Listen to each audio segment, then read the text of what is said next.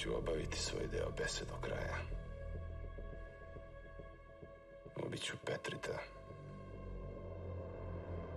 A ti znaš šta je tvoja obaveza.